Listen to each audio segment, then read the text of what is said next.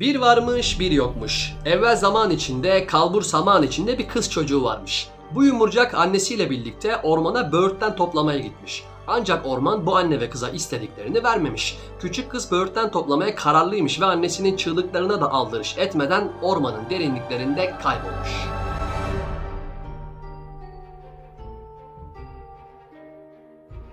Zaman ilerledikçe bir şeylerin ters gittiğini anlamış ve annesinin kendisine anlattığı masallardaki korkunç canavarları hatırlamış. Hatırladıkça da ürpermeye başlamış.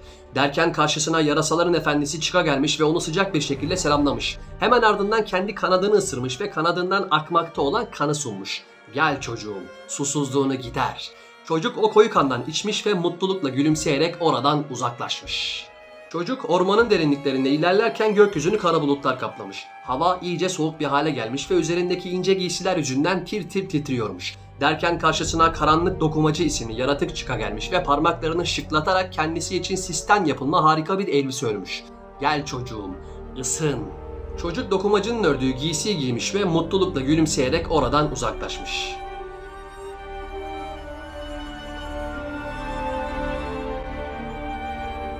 Çocuk kendisini eve götürmeyi umduğu bir tekneyle derin sulara yelken açmış. Fakat açlık minik bedenini etkisi altına almış ve kendisini güçten kuvvetten düşmüş bir hale getirmiş. Harap ve bitap bir halde karanlık sularda öylece kala kalmış. Derken karşısına balık kral çıka gelmiş ve ona yüzgeçlerinden birini sunmuş. Gel çocuğum, karnını doyur.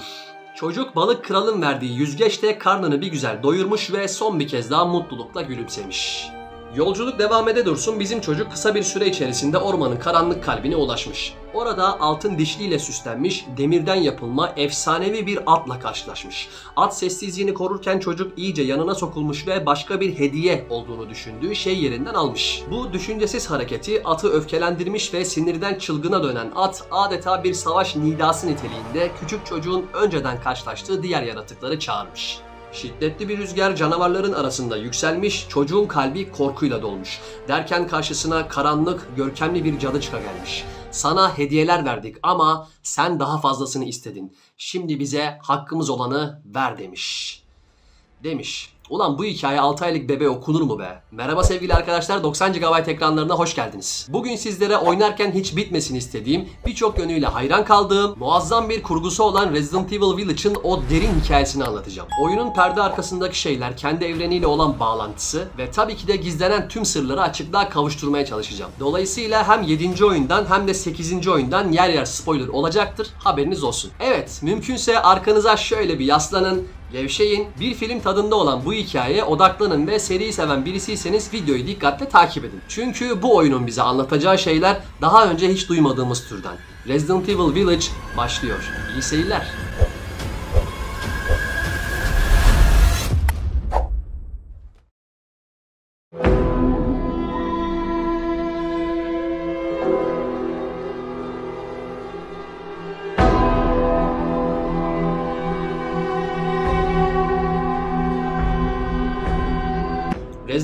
Village ya da Resident Evil 8. Gerçekten ne oluyor lan diyebileceğimiz görüntülerle başlıyor arkadaşlar. Fakat taşların iyice bir yerine oturması açısından bir önceki oyunda neler olup bittiğine bir değinmek istiyorum.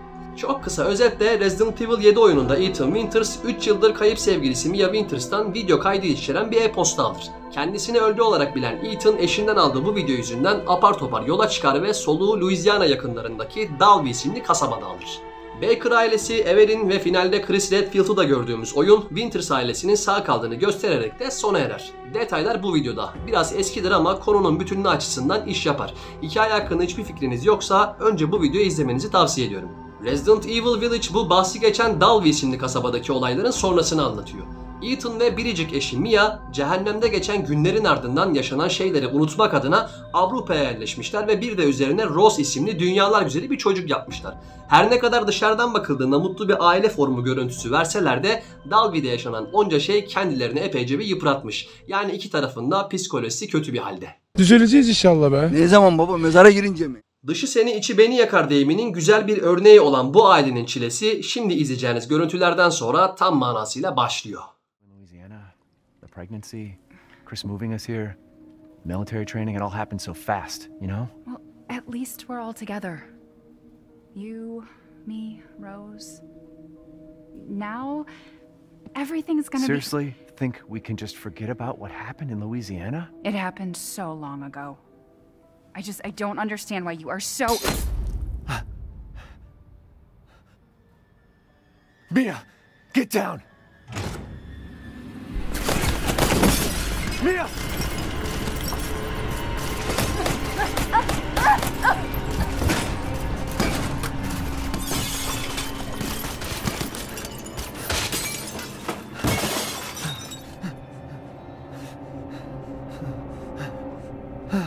Mia. Oh, God.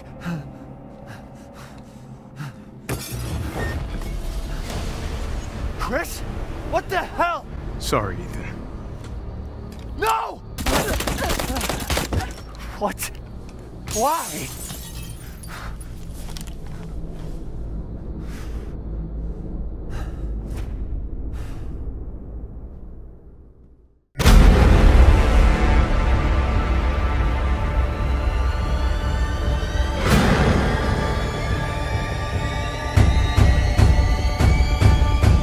Karısının gözleri önünde kurşun yağmuruna tutulması, akabinde aynı şekilde Chris'in de saydırmaya devam etmesi ki burası biraz manidar, dünyalar tatlısı Rose'un kaçırılması ve kafaya yenen bir tüfek kabzası derken baygınlık geçiren dostumuz nihayet gözlerini açar.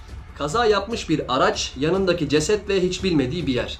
Ethan olan bitenleri anlamlandırmaya çalışır fakat bu hiç kolay olmayacaktır çünkü yaşanan her şey bir soru işaretinden başka bir şey değildir. Çaresiz gecenin o zifir karanlığında yola koyulur.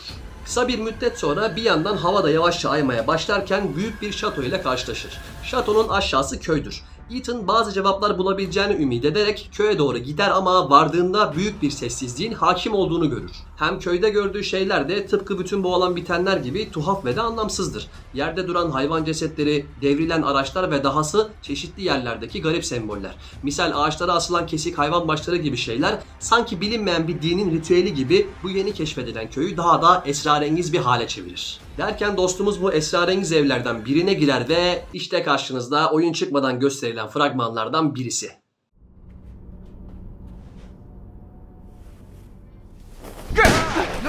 Friendly, friendly. Who are you? Who sent you? Nobody. There was an accident down on the road, and what's going on?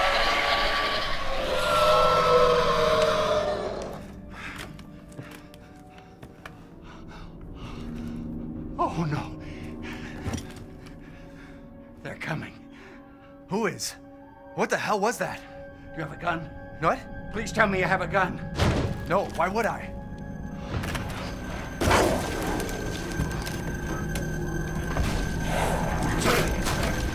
Take it!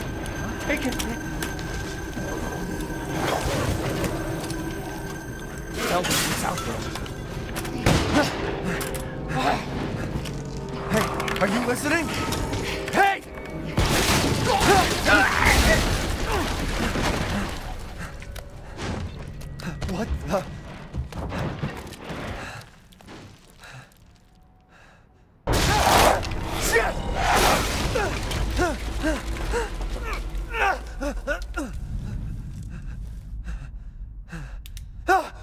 Ethan vahşice ölen ihtiyar adamdan sonra bulunduğu evin bodrum katı gibi bir bölümüne düşer.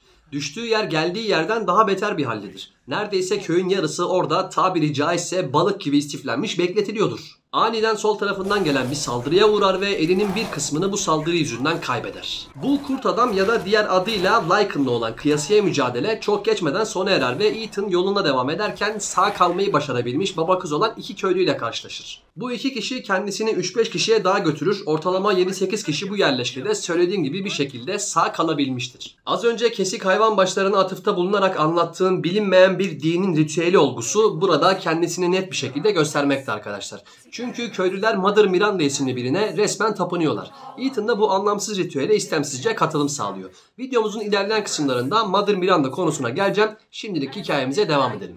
Köylülerin yaptığı ritüel ilk gördüğümüz ihtiyar adamın yani babanın kurt adama dönüşmesiyle kabusa döner. Saniyeler içerisinde oracıkta kim varsa hepsinin ölümüne sebep olur. Mecbur kızı alıp oradan uzaklaşmaya çalışan Ethan maalesef başarılı olamaz. Hem baba hem de kız hem de o evde bulunan herkes feci bir şekilde can verir. Anlaşılan odur ki Ethan Winters'ın eline attığı her yer kurumaktadır. Çekeceği çilesi çoktur. Her şey Dalvi'de olanlar gibi üst üste gelmektedir ve bunlar sadece olacakların bir habercisidir. Ardından tekrar yola koyulan Ethan yeniden kurt adamların saldırısına uğrar fakat bu defa daha kalabalık bir şekilde. Ve daha mühim olanı bu vahşi yaratıklar kendilerinden çok daha irice olan liderlerin de yanlarında getirmişlerdir.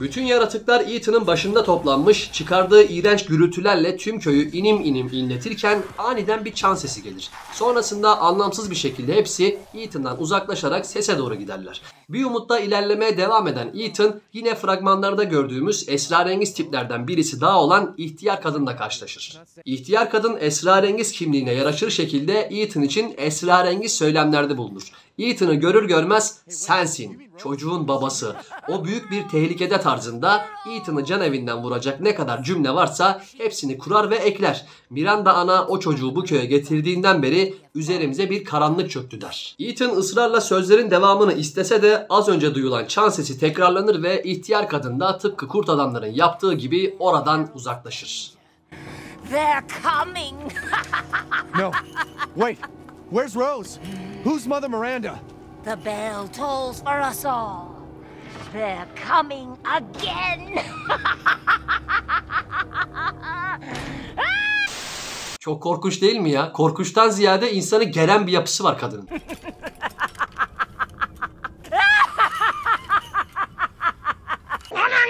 Çilekeş adam Ethan Winters ihtiyar kadının da söylediklerinden bir anlam çıkarıp belki kızımı kurtarırım umuduyla içerisinde kan ve ölümden başka bir şey bulunmayan şatonun yolunu tutar. Şatoya girmeden Duke isimli şu abiyle karşılaşır. Duke bu oyun boyunca ticaret yapabileceğimiz birisi arkadaşlar ve ticaret yapabildiğimiz birisi olmasının yanı sıra bütün bu olan bitenler hakkında elzem bilgilere de sahip. Yeri geldiğinde işe yarayacak tüm bilgileri ondan öğreniyoruz. Önemi büyük yani. Velhasıl kelam Duke'le yapılan alışverişten sonra tekrardan şatonun yolunu tutan Ethan nihayet kapıyı bulur ve yavaşça içeri girer.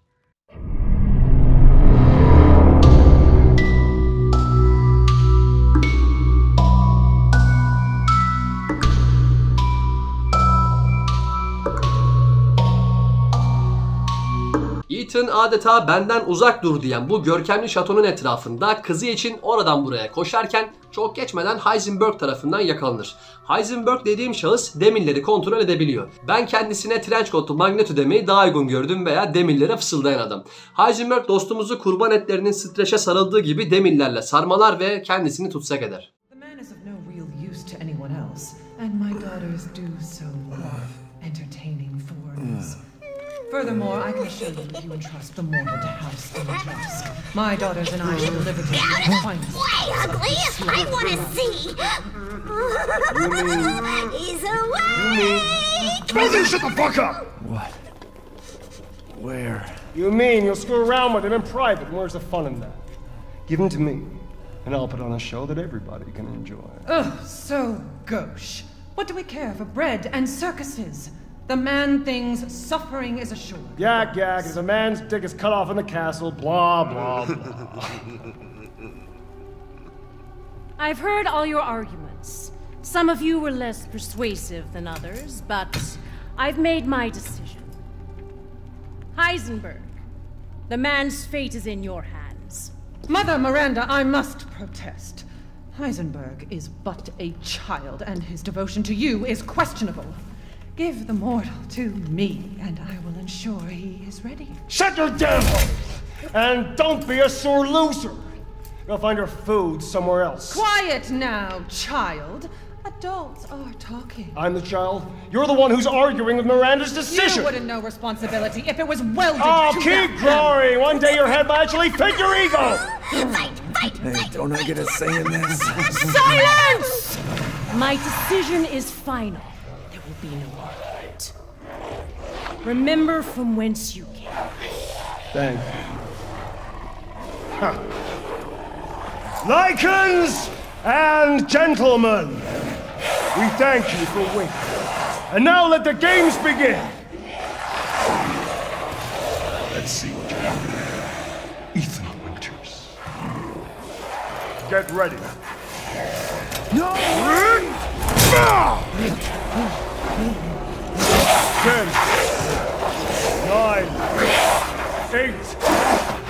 Seven, six, five, four, three, two, one.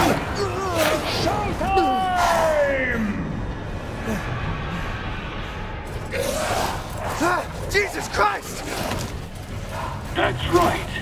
Run for your life. Videomuza devam etmeden önce izlediğimiz bu görüntülerdeki kişilerin isimlerini de sizlere aktarayım ki tüm bu manyaklarla bir tanışma faslımız olsun. İzlerken kafa karışıklığına sebebiyet vermesin. Mother Miranda'nın 4 soylusu veya Mother Miranda'nın 4 hizmetkarı. Söylediğim üzere coatlu Magneto Heisenberg. Namı değer demirlere fısıldayan adam. Şu tuvalette ekmek yiyip bu hale gelmiş gibi görünen Salvador Moreo. Ölü Gelin filmindeki kadının gençliği rolünü üstlenen Chucky'nin dişi versiyonu Donna Beneviento muhtemelen oyunun sonunda böcek gibi öldüğünü göreceğimiz ama maalesef köylülerin tapındığı kadın Mother Miranda ve tabii ki de genç erkeklerin yedek sevgilisi Lady Dimitrescu. Küçük bir ekleme bu cemaatte eksik olan biri daha doğrusu birileri var. Onlardan bazıları Lady Dimitrescu'nun lanet olası kızları ki zaten şimdi oraya geliyoruz. Ethan bu hengameden sağ kalmayı başardıktan sonra gayet acıklı bir biçimde bu kızlara yakalanır. Kızlar dostumuzu alıp analarına götürür. Dimitrescu Ethan'ın avcundan bir kesik aldırarak kanını emcüklemeye başlar ve Ethan'ın tadını kaybetmeye başladığını söyler. Tekrar ediyorum Ethan'ın kanını emer ve tadını kaybetmeye başladığını söyler. Bu kurduğum cümleyi unutmayın sevgili dostlar. Oyunun hikayesi açısından bize büyük bir ipucu veriyor. Zaten izlediğiniz görüntülerde fark ettiyseniz Ethan ne hikmetse bu manyaklar için önemli birisi. Herkes kendisini almak için sanki birbiriyle bir yarış içerisinde. Neyse dostumuz gayet mide bulandırıcı sahneler eşliğinde bu tutsaklıktan da kurtulmayı başarır ve akabinde şato içerisindeki gizemleri çözümlerken Lady Dimitrescu'nun kızlarını da teker teker avlamaya başlar. Normalde kurşun geçirmeyen bu kızların zayıf noktasının soğuk olduğunu keşfeder ve bu bilgi işini epeyce kolaylaştırır. Üçünü de aynı yöntemlerle perişan eder. Nitekim bu durum kapılara sığmayan devasa büyüklükteki Lady Dimitrescu deliye çevirir. Bu defa da şatoda gezdiği her an boyunca Dimitrescu tehlikesiyle yaşar Ethan. Kızı için her türlü badireyi atlatmayı göze alan bu fedakar baba maalesef günün sonunda Dimitrescu tarafından da yakalanır ve Dimitrescu çok enteresan bir şey söyler dostumuza. All this for a child who isn't even here. What the hell do... Ah! You ungrateful, selfish wretch! You come into my house! You lay your filthy man hands on my daughters! And now you even try to steal my property! How dare Bir kedi fare oyunu gibi. Dimitres kovalar, Ethan kaçar. Dimitres kovalar, Ethan kaçar fakat en nihayetinde Ethan Winters peşinde olan bu korkunç kadının Lady Dimitrescu'nun aslında Wolverine'in kayıp kardeşi olduğunu anlar.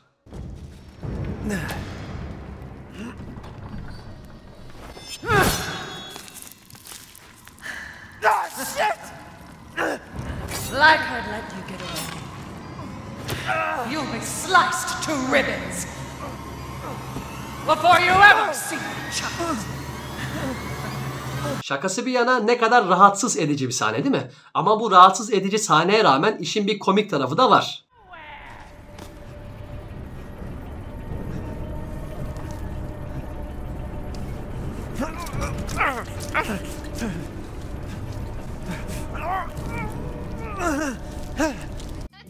Uhu Patafix. Yapıştır. Tekrar tekrar yap. Bu kolun nasıl böyle yapıştığına dair ilerleyen zamanlarda bahis açacağım arkadaşlar. Tadını kaybeden Ethan sahnesiyle bir bağı var. Bunlar da aklımızın bir köşesinde dursun diyerek hikayemize devam edelim. Bir şekilde hala bu cehennemde sağ kalabilen Ethan, şatonun derinliklerinde gizlenen sır perdelerini de iyiden iyiye aralar. Dimitrescu için büyük bir tehdit anlamına gelen gizemli bir hançer bulur ama hançeri bulur bulmaz da yine Dimitrescu tarafından yakalanır. Dimitrescu ölen kızlarının da intikamını alıyormuşçasına Wolverine tırnaklarını Ethan'a geçirirken Ethan da boş durmaz ve elindeki hançerle Dimitrescu'ya ağır bir şekilde yara verir. Hançerin verdiği bu yara talihsiz kadının tüm güzelliğini üzerinden alarak kendisini tipik Resident Evil oyunlarından aşina olduğumuz devasa bir boss formuna büründürür. O eski halinden eser bile yoktur artık ve akabinde savaş başlar. Ah! Ah! Dare you talk about saving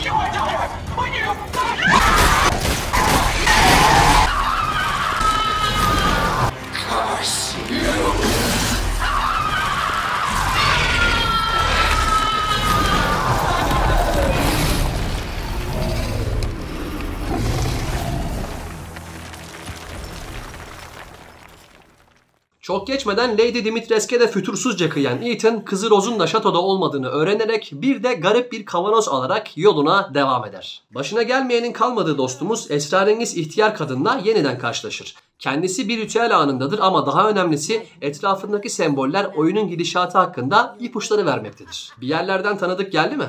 Ethan ihtiyar kadına sitem edercesine Rose'un şatoda olmadığını söyler. Neticede kendisine yol gösteren de ihtiyar kadından başkası değildir. Mother Miranda'nın kızını nereye götürdüğü hakkında bir şeyler öğrenmek ister fakat ihtiyar kadın cevap olarak geç kaldığını ve çocuğun kurban edileceğini dile getirir. Artık bu ortaçağ saçmalıkları Ethan'ı iyice delirmeye doğru götürmektedir. En başından beri çözülmesi gereken bir sürü problem, hayatta kalma mücadelesi, öte yandan bir şeyleri anımsatan semboller, bir de üstüne ihtiyar kadının gizemli tavırları ve maalesef şimdi öğrenecekleri. İhtiyar kadınla olan karşılaşma sona erdiğinde dostumuz soluğu Dük'ün yanında alır. Dük'ü hatırladınız. Az önce anlattığım garip kavanozu da. Ethan tesadüf eseri bulduğu bu kavanozu sadece ticaret gayesiyle Dük'e götürdüğünde kavanozun içerisindekinin bizzat kendi kızından bir parça olduğunu öğreniyor. Yanlış duymadınız maalesef kızının parçaları. Fakat bunu duyar duymaz yerlere düşen kahramanımızın içi bir nebze de olsa Dük sayesinde rahatlıyor. Çünkü Mother Miranda'nın eli ayağı niteliğindeki dört soyluyu haklayabilirse kızına tekrar kavuşabileceğini öğreniyor. Kavanozlardan birisini Lady Dimitrescu'da olan savaşın ardından alan Ethan kalan 3 tanesi için bir umut yeniden yollara koyuluyor. Onlar da bildiğimiz üzere bu bölümün başında anlattığım Salvador Moreo, Heisenberg ve şimdi izleyeceğimiz Donna Beneviento.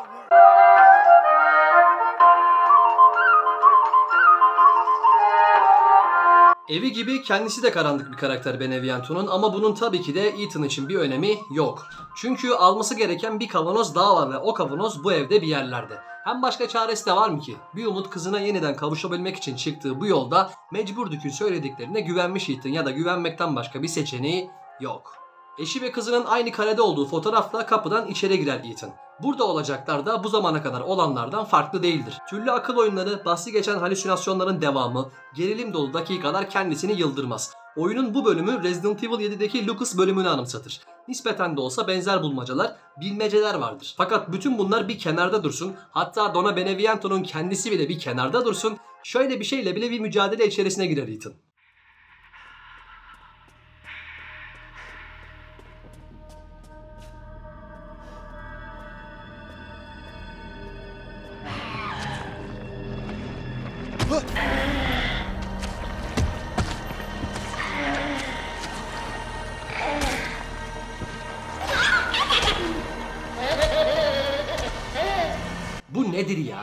Bana bunun açıklamasını yapabilir mi?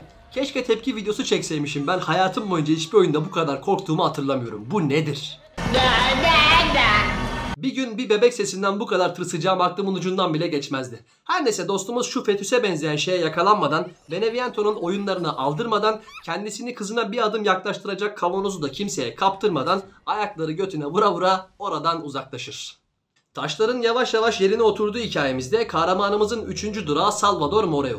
Kendisi şiddetli mutasyona uğrayarak dev bir balık formuna bürünebiliyor. Ethan Beneviento'nun esareti altından kurtulduktan sonra bu sefer de soluğu Moreo'nun evinde alır. Moreo'nun yavaş hareket eden, artık tüm vücudu deforme olmuş, kendisine bile hayrı olmayan birine benzediğine bakmayın, tam olarak kontrol edemese de söylediğim gibi dev bir balığa dönüşebiliyor. Fakat burada Moreo'dan daha elzem olan bir şey var ki o da Chris Redfield ve adamlarının burada olması. Ethan'la karşılaşması ve gerçekleşen bu karşılaşma bize hikaye açısından yeni ipuçları vermekte ya da bütün olanları daha da karışık bir hale getirmekte.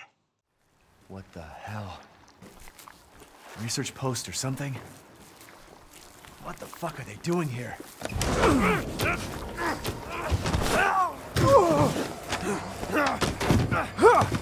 Get off of me! Stay the fuck down! Ethan! I gotta say, I'm surprised you made it this far. It'd be a shame if something happened to you now. Sir Chris. Why not? You killed Mia. Now do me and finish the job. Hey, Cap. I'm getting some serious motion readings out here. We should move on. What kind of readings? What's moving? Unknown, but my guess is we've been here too long, and Miranda knows it. Hey, hey, did you say Miranda? How are you involved? Leave it alone, Ethan. You are out of your depth. What about the sample analysis? It's definitely related to the mold.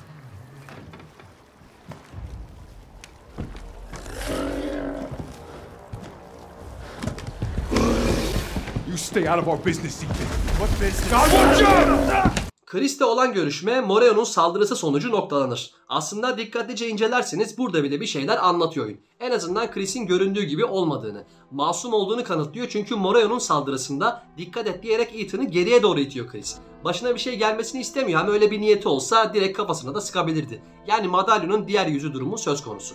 Devam edersek daha adam akıllı bir soru bile soramadan yollara ayrılır Chris ile Ethan'ın ve artık kahramanımızın başında büyük bir bela vardır. Gerçekten büyük bir bela.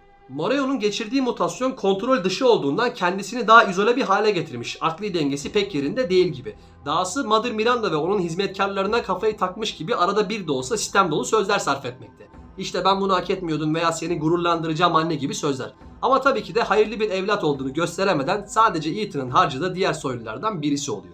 In death as he was in life. Disgusting. Ethan balon gibi patlattığı Moreo'nun bölgesinden çıkmadan Heisenberg'le iletişime geçer. Şaşırtıcı bir şekilde Ethan için övgü dolu sözler söyler Heisenberg ve kendisine yardım etmek istediğini söyler. Ethan tabii ki de başına gelen tonla şeyden sonra öylece güvenemez zira Ethan'ı Mother Miranda'nın önüne atan yine Heisenberg'ün ta kendisidir. Fakat Heisenberg bu konuşmadan sıkılarak istesem seni öldürürdüm şuraya gel sana kavanozumu vereyim hepsi bu kadar diyerek görüşmeyi sonlandırır. Bakalım bizim demirlere fısıldayan adam Trenchcoat'lu Magneto Ethan'dan ne istiyormuş? Lady Dimitrescu, Donna Beneviento, Salvador Moreo derken kahramanımızın dördüncü ve son durağı olan daha önemlisi işlerindeki en tehlikeli soylu olan Heisenberg'ün gizemli fabrikasına olan yolculuğu başlar. Bu demirlere fısıldayan adam henüz kendisine kavuşamadan Ethan için oyunlarını sergiler. Yol boyunca etrafa koyduğu tabelalarla gideceği yerleri gösterir. En nihayetinde iyi şanslar diyerek dostumuz için yeni bir maceranın kapısını aralar. Ethan Winters bu rota üzerinde seyrederken kurt adamların ininden geçmek zorundadır. Tabii kurt adamların ininden geçerken liderlerine de bir uğrar. Videonun başlarında gördüğümüz Uriyaş isimli devle devasa bir savaşa girer dostumuz. Bitmek bilmeyen mücadeleci ruhu ve tabii ki de kızına olan sevgisi Uriyaş'ın da üstesinden gelmesini sağlar Ethan'ın ve Heisenberg'ün övgü dolu sözleri arasında kızı için ihtiyacı olan son kavanozu da alır. Toplaması gereken tüm kavanozları ele geçiren kahramanımız elindekileri köyün merkezinde bulunan sunağın içine koyar. Akabinde sunağı yerinden çıkarıp Heisenberg'ün söylediği yere getirir ve en nihayetinde soluğu Heisenberg'ün fabrikasında alır. Welcome. Fabrikadan içeri giren dostumuz Heisenberg'ün adeta bir cinayet masası gibi işlediği duvarını gördüğünde dumur olur. Başından beri karşılaştığı herkes oradadır. Chris, Mia, Rose ve tabii ki de Mother Miranda. Ölenlerin üzerine çarpılar atılmıştır. Derken demirlere fısıldayan adam Heisenberg gayet karizmatik bir şekilde Ethan'ın karşısına çıkar. Truth hurts, don't Let me guess. You're thinking, take me out like the others, and then he gets to go and save Rose, right? I'm healing my daughter. Look, you, you, you got this all wrong. Tell me what I'm talking about.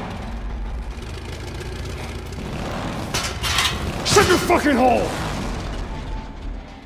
Sorry about that. Take a seat. Listen, Ethan, you're being played. What are you talking about? You think this is a game? I said sit! Lady, supersized bitch. Ugly ass psycho doll. An embryonic freak. Don't you get it? It's a test. To see if you're strong enough to be a part of Miranda's family. I don't want to be a part of Miranda's family. Neither did I, but here we are. And I'm next in line, right? Kill me, move up the chain. Well, fuck that! I don't give a damn about your personal issues. I just want to fix my daughter. So do I. Do you have any idea how powerful that kid is? Even Miranda's scared of her. Last time, you freak, I swear to God!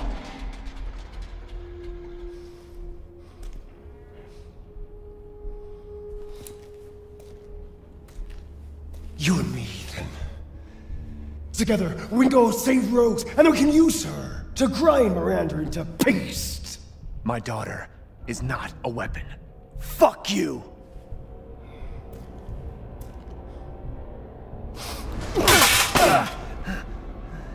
Last chance. You don't have to find out what's in that hole. I'll take my chances. You're futile. Ugh!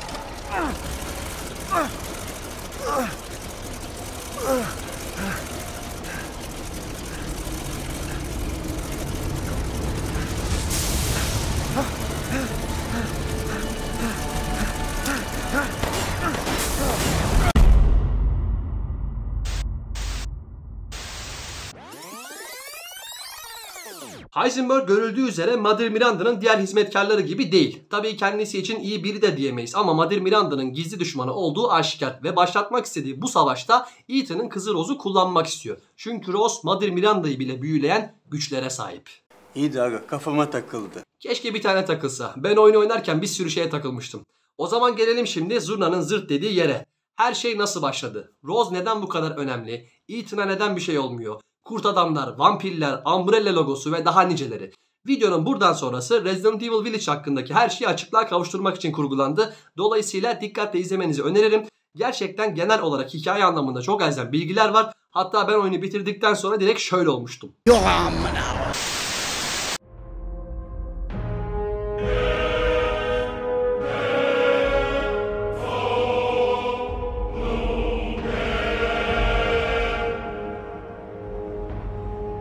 Hikayemizin kilit noktası Mother Miranda. Hatta kısaca bütün olacakları göze alan bir anne sevgisi diyerek bile özetleyebiliriz. Her şey 1900'lü yılların başlarında Miranda'nın İspanyol gribinden ölen kızını geri getirmek istemesiyle başlıyor.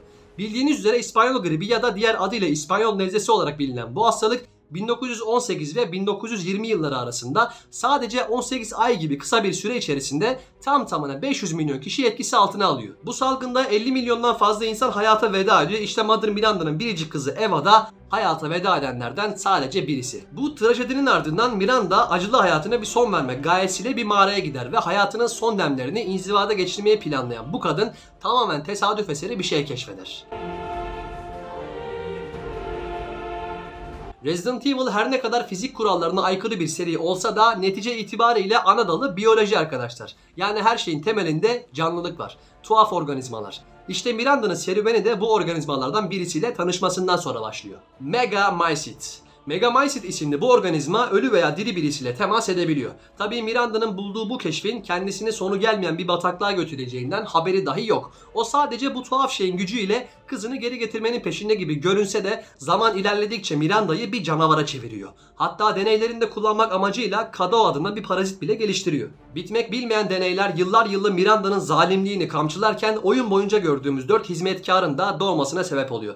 Video boyunca anlattığım Lady Dimitrescu, Donna Beneviento, Salvador Moreo hatta Heisenberg bile Miranda'nın çirkin deneylerinden başka bir şey değil.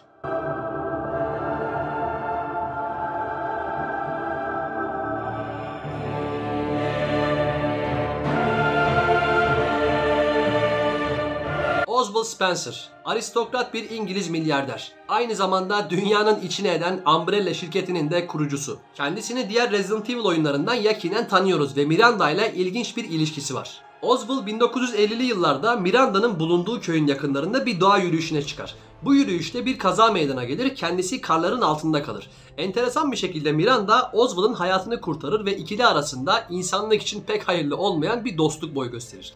Günler geçtikçe Miranda bildiklerini Oswald'a öğretir. Oswald Miranda için her ne kadar hayranlık beslese de bakış açıları birbirinden farklıdır. Çünkü Oswald öğrendiği bilgiler ışığında dünyayı değiştirmek isterken Miranda sadece ölen kızını geri getirmenin peşindedir. Nitekim bir müddet sonra Oswald Spencer yollarını ayırır Miranda'yla. Ama yine de iletişimini kesmez. Sık sık mektuplaşırlar. Hatta bu mektupların birinde Afrika'da telaffuzuna tam olarak emin olamadığım progenitör adını verdiği bir virüs keşfettiğini anlatır ki bu da Resident Evil 5 oyununa gönderilen bir atıftır aslında ve ekler. Virüsü araştırmak için bir şirket kuracağım. Adını Umbrella koyacağız. Logosu ise şu mağaralardaki sembol olacak.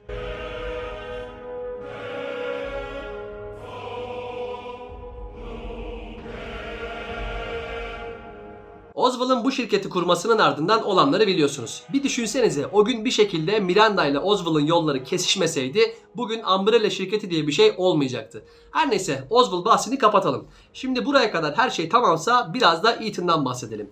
Ethan Winters aslında kim?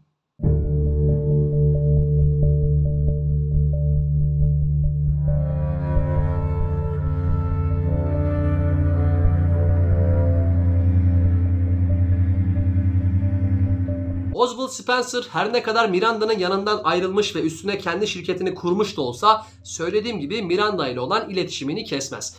Evelyn olarak da bilinen E001 Miranda tarafından sağlanan bir kalıp örneği ve yine Miranda'nın kızı Eva'dan alınan bir DNA örneği kullanılarak The Connections tarafından geliştirilir. Evelyn'in sahip olduğu telekinetik güçleri, zihin kontrolü gibi öngörülemeyen yeteneği genel anlamda silah pazarı için tartışmalı olduğunu kanıtlar. Nitekim şirket Ekim 2014 yılında onu saklamaya karar verir ve başına Alan Durani ve Mia Winters'ı getirir. Mia'nın bu projedeki görevi Evelyn'e götürüleceği başka bir laboratuvara kadar eşlik etmektir. Ama işler istenildiği gibi gitmez. Evelyn bulunduğu gemiyi tüm mürettebatı ile birlikte batırır ve soluğu Baker ailesinin çiftliğinde alır. Sonrasını biliyorsunuz. Baker ailesi Evelyn'in yaydığı küfler aracılığıyla deliriyor.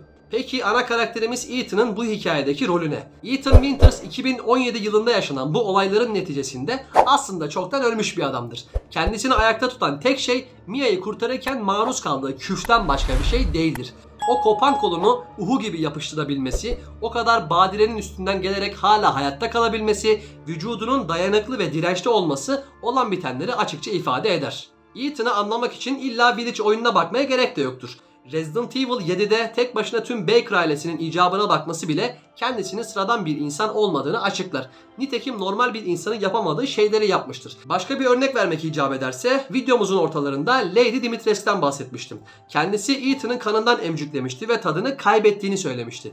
Bunun nedeni anlattığım gibi Ethan'ın aslında ölü bir adam olmasından başka bir şey değil arkadaşlar. Peki Ethan'ı anladık. Mia'yı anladık. Bu olanların Rose'la ne ilgisi var? Miranda niçin el kadar bebekten medet umuyor?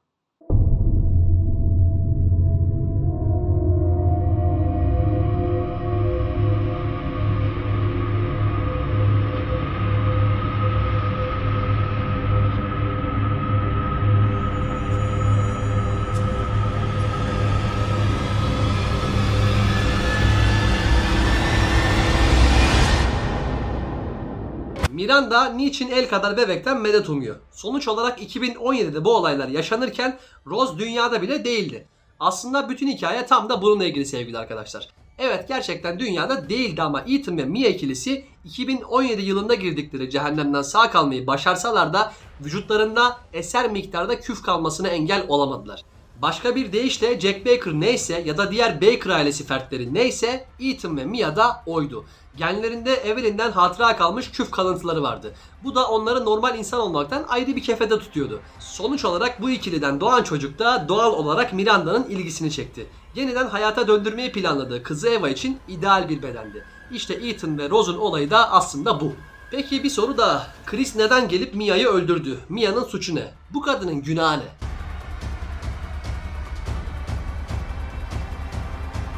Mia'nın bir suçu yok. Çünkü Chris'in öldürdüğü kişinin Mia ile bir alakası yok. En başında gördüğümüz kişi Mother Miranda'nın ta kendisi. Sahip olduğu güç sayesinde Mia'nın kılığına girip Rose için Winters ailesinin evlerine kadar sızmayı başarmış. Zaten fark ettiyseniz üzerine kurşun yağdırıyorlar Mia'nın. İlk etapta otomatik silahla uzaktan taranıyor. Hemen ardından Chris gelip 3-5 tane de o sıkıyor. Gerçekten Mia olsaydı daha insaflı bir sahne izlerdik. En başta gördüğümüz şey biraz vahşice. Bir örnek daha verirsek videonun en başında izlediğimiz hikayeyi hatırladınız. Aslında o hikayedeki canavarlar oyun boyunca peşimizde koşan Miranda'nın hizmetkarlarını betimliyor. Zaten şöyle bir bakıldığında bir annenin evladına asla okumak istemeyeceği bir hikaye olduğunu görüyoruz. Fakat Miranda Mia'nın kılığındayken bunun yerel bir öykü olduğunu söyleyerek geçiştiriyordu. Her neyse Chris Redfield Miranda'nın bu yaptığını bilerek eve geliyor ve hemen Mia'yı yani Miranda'yı etkisiz hale getiriyor. Aslına bakarsanız bu işi biraz fazla hafife alıyor. Ölmüştür diyerek konuyu kapatıyor kendince ama Miranda tam olarak ölü taklidi yapıyor bir ceset kisvesinde Chris ve adamlarının kamyonetine binerek Rose'u kaçırıyor. Mia Winters'ın da bahsini kapatmadan son bir ekleme daha yapalım. Mia da bu hikayede sağ kalanlardan birisi arkadaşlar. Bütün bu olanlar yaşanırken kendisi Miranda'nın laboratuvarında esir tutuluyor. Akabinde Chris Redfield tarafından kurtarılıyor. Biz bir oyuncu olarak bunu maalesef Ethan öldükten sonra keşfediyoruz. Hazır Ethan'ın ölümünden bahsetmişken tekrardan ana hikayemize geri dönelim ve en son finalde neler yaşandı hep beraber izleyelim.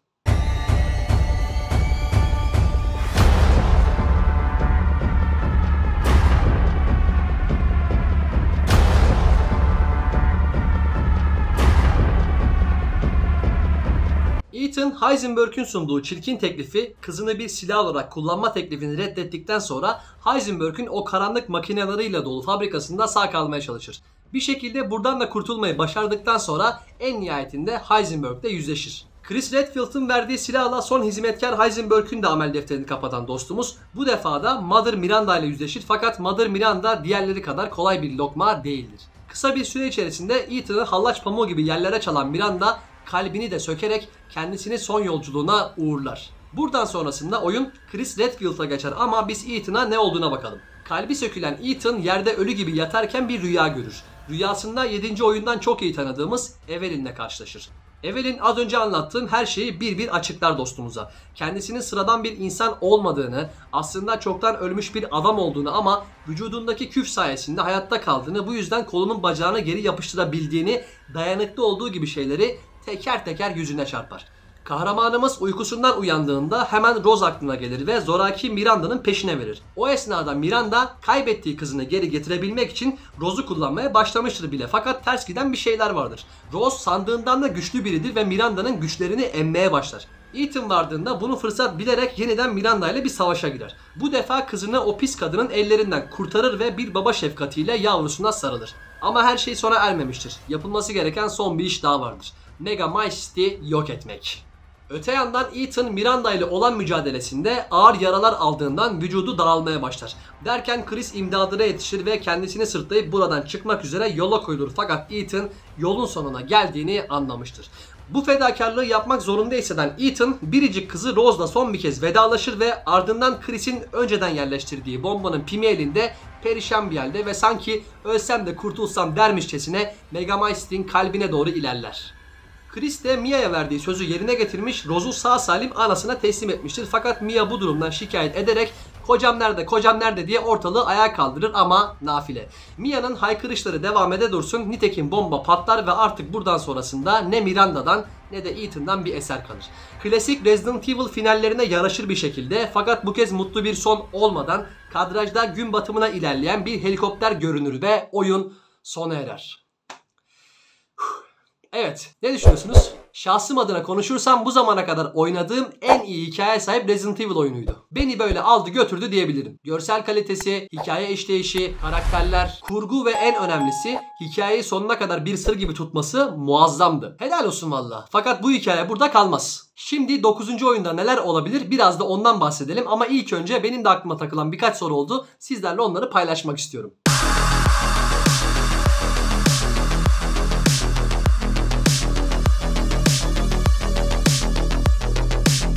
Soru internette en çok dolanan sorulardan birisi. Kıl soru 1. Ethan madem küf sayesinde yenilebilen bir vücuda sahip neden oyunun sonuna kadar parmaksız gezdi? Cevap. Çünkü kurdun midesinde kaldı. Kurt adam ham yaptı, yedi bitirdi. Ethan kopan kolunu yapıştırabiliyor ama o kol elinde yani yeniden kol çıkmıyor. Kopan kolu yeniden yapıştırıyor. Bir nevi tamir ediyor. Kertenkele gibi yenisini çıkaramıyor. Kıl soru 2. Parmağı çıkmadı ama kalbi sökülmesine rağmen yeniden hayata döndü. Kalbi yeniden çıkamıyorsa nasıl hayata döndü? Ethan kalpsiz biri mi? Bununla ilgili iki teori var. İlki evet Ethan kalpsiz olarak savaştı Miranda'yla.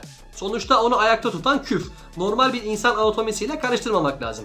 Kalbi bir kenarda kalsın belki beyni olmadan bile ayakta durabilir. İkinci teori Ethan gözlerini açtığında Dük'ün yanında buluyor kendisini. Bu da şu anlama geliyor ki Miranda kalbi çıkardıktan sonra bir köşeye fırlatmış. Akabinde Dük olay mahalline gelip kalbi Ethan'a kumandaya pil takar gibi takmış. Olabilir. Yani biraz saçma. Kıl soru 3. Chris Redfield madem her şeyi başından beri biliyordu neden Ethan'a olanları hemen anlatmadı? Neden oyunun sonunda söyledi? Cevap. Chris Ethan'ın yoluna çıkmasını istemedi. Sonuçta Ethan karısı ve çocuğunu kaybeden bir adam. Bunu hemen öğrenseydi bu işin peşini bırakmazdı ki her halükarda bırakmıyor zaten ama bir de şu var. Bu tarz yapımlarda film olsun, oyun olsun böyle şeyler hep böyle yedirilir hikayeye. Birisi sert ve gizemli olmak zorunda. Klişe ama yapacak bir şey yok. Adamlar nasıl satacak hikaye? Hem Ethan Winters başından beri olan biten her şeyi bilseydi hikaye bu kadar lezzetli olur muydu? Bu soruyu bir de böyle düşünmek gerek. Neden oyunun sonunda söyledi kısmına gelirsek çünkü artık her şey birbirine girmişti. Chris her ne kadar Ethan'ı uzak tutmaya çalışsa da Ethan da bir şekilde başından beri olayların içerisindeydi. Bir de en sonunda adama artık gına geldi. Yeter artık. Yeter buramıza geldi ya. Nedir bu be? Kıl soru 4. Heisenberg madem demirleri kontrol edebiliyor, niçin Chris'in Ethan'a verdiği tankvari şeyi kontrol edemedi? Cevap. Sanırım tek bir alaşımdan oluşmadığı için. Hatta Ethan araca binerken metal ve polimer birleşimi ha seni kendi silahına vuracağım tarzında bir cümle kuruyor. Bu sorunun cevabı bu olabilir. Kıl soru 5. Dük o kadar cüssesine, hacmine rağmen nasıl oluyor da oyunun çeşitli yerlerinde birdenbire karşımıza çıkabiliyor? Dük'ün özel güçleri mi var? Cevap bilmiyorum ama devam oyununda kesinlikle bir yeri olmalı. Bence oyuna renk katan bir karakter diyerek 9. oyun için neler olabilir biraz da onlardan bahsederek videomuzu sonlandıralım. En son Dük'ten söz ettiğim için ilk olarak Dük'le başlamak istiyorum. Dük köyün yerleşik bir tüccarı. Neşeli bir kişiliğe sahip ve Ethan'a oyun boyunca yardım ediyor. Dikkatli baktıysanız Ethan onun arabasında uyandığında etrafta sarımsakları görebiliyorsunuz. Bu da vampirleri uzak tutmak için kullandığı bir araç olabilir. Öte yandan Ethan arabadayken sen kimsin ya da nesin diye bir soru soruyor. Dük de cevap olarak onu daha kendim bile tam olarak bilmiyorum gibi bir şey söylüyor. Bu da Dük hakkındaki gizemi betimliyor. 9. oyunda olma ihtimali yüksek bir karakter diye düşünüyorum. İkinci teori Chris Redfield ve BSA hakkında. Chris, Rose'u Mia'ya teslim edip helikopterle köyden uzaklaşırken adamlarından birisi kendisine bunu görmelisiniz yüzbaşı diyerek yanına çağırıyor. Chris yanına geldiğinde yerdeki bir cesedi işaret ederek BSA asker göndermemiş. Bu bir biyolojik silah diyor. Chris de bunların amaçları ne? Bütün ekibi topla BSA Avrupa üssüne gidiyoruz diyerek cevaplıyor ve kendi kendine fısıldayarak da olsa ekliyor. Bunun bedelini ödemeliler. Yine 9. oyunda bu oluşumla ilgili yeni şeyler görebileceğiz gibi geliyor. Üçüncü ve son teori Ethan ve kızı Rose hakkında. Resident Evil Village finalinde bir after credit sahnesi var arkadaşlar. Bu sahnede Rose'un genç kız olduğu halini gözlemliyoruz. Yani olayların üzerinden yıllar geçmiş. Babasının kıyafeti üzerinden mezarını ziyaret ediyor. Rose bu ziyaretin ardından kendisini bekleyen zırhlı bir araca biniyor ve binerken şoförle takışıyor. Şoför kendisine bir sorunumuz var. Sana ihtiyaç var. Evelyn diyerek bir küstahlıkta bulunuyor. Rose da bu duruma çok sinirlenip sakın benimle bir daha böyle konuşma. Sana Chris'in bile yapabildiğimi bilmediği şeyler gösteririm diyor. Bu da Rose'un Chris'in adamlarıyla ortak çalıştığını betimliyor diyebiliriz. Zaten babasının yanından ayrılırken görev beni bekler gitmeliyim diyor. Bununla birlikte güçlü bir karakter olduğunu da anlatıyor aslında. Yani uzun lafın kısası 9. oyunda Rose'un genç kız halini görmemiz de muhtemel. Hatta direkt onunla bile oynayabiliriz. Kim bilir? Ethan konusuna gelirsek Rose araca bindikten sonra aracın öylece uzaklaştığını görüyoruz kadrajda. Yine dikkatlice incelenirse araç ileride duruyor ve silüet gibi de olsa birinin orada olduğunu kestirebiliyorsunuz. Ama daha da önemlisi internette oyunun bu sahnesini off kamera ile gösteren bir video var. Bu videoda silüet gibi uzaktan görünen karakterin Ethan'ın kendisi olduğunu görüyoruz. Ethan tüm bu olan bitenden yine bir şekilde sağ kalmayı başarmış mı yoksa ne dersiniz? Şayet böyle bir şey mümkünse 9. oyunda kendisini görebilir miyiz? Eğer kendisini görebiliyorsak yani gerçekten Ethan ölmediyse Baker ailesinin fertleri de hayatta kalmış olabilir mi? Ya da bu görüntüler birilerinin sadece eğlenmek amaçlı yaptığı bir şey mi? Resident Evil 9'da hep birlikte öğreneceğiz diyerek bu defa videomuzu sonlandıralım arkadaşlar. Resident Evil Village için elimden geldiğince tüm detayları anlatmaya çalıştım. Umarım beğenmişsinizdir. Desteklerinizi eksik etmediğiniz için teşekkürler. Discord, Instagram gibi sosyal medya hesaplarımızı takip etmeyi unutmayın. Başka videolarda görüşmek üzere. Kendinize çok çok iyi bakın. Hoşçakalın.